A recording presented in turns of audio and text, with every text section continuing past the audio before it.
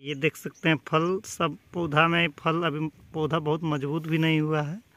और फल अभी से ही आना मेरा स्ट्रॉबेरी का हो गया है।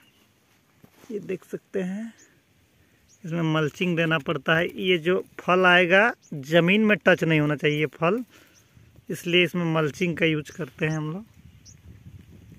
देख लीजिए, पूरा देख सकते हैं मेरा स्ट्रॉबेरी।